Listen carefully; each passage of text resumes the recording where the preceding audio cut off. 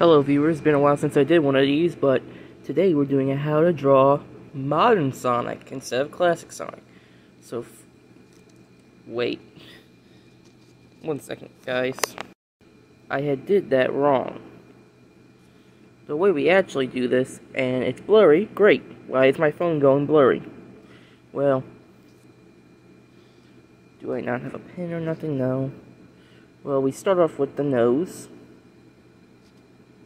what you do that for. And add a little circle inside of that. And if you want, you can start by going down like that. Curve all the way around. And then bring it up a little bit for for his mouth to be actually like that. That's how his mouth is. Then we curve. Curve down. Curve like that.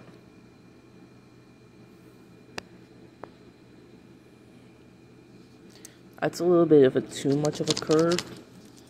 Like you want to bring it a little bit more in. You see? See where I did wrong right there? So then we make the eye, which is just like an an ovalish thing. And of course, I do terribly.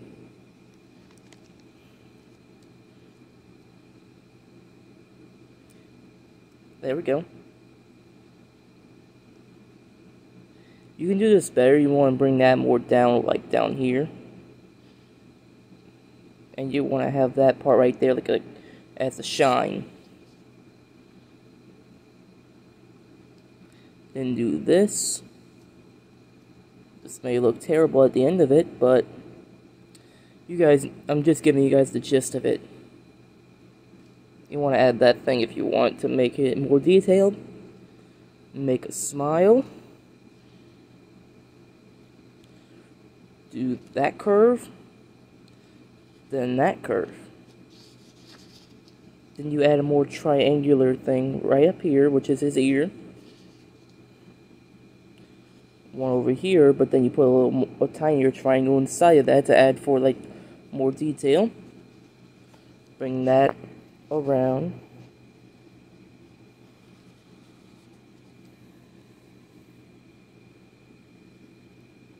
That's a little bit too far.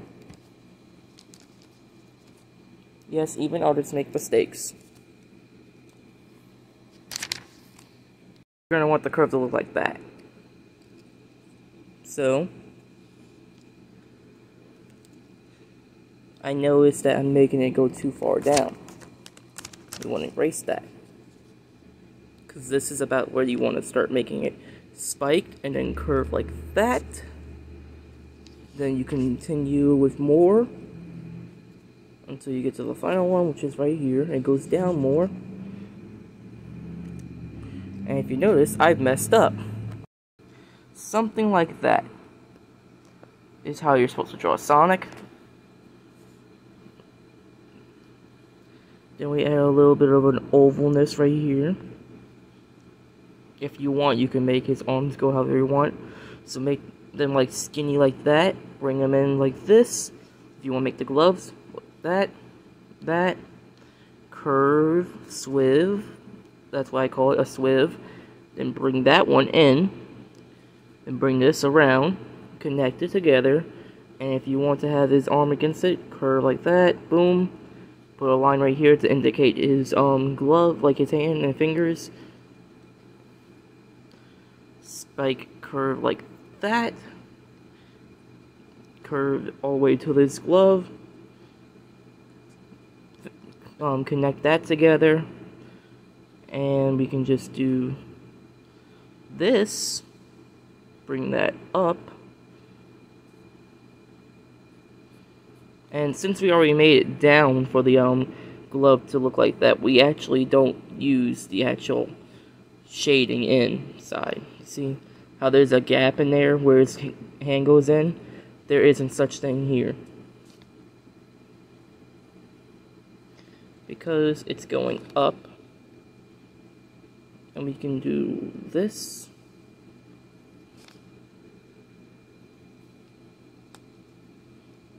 Bring the finger up. That one down.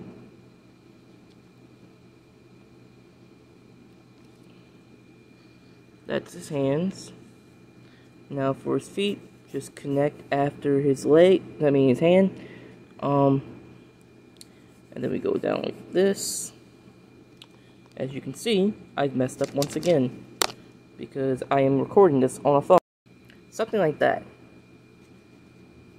You see, I made that thing too, I made that line too low, okay? Gonna bring this a little bit higher like that. Then, then connect this down.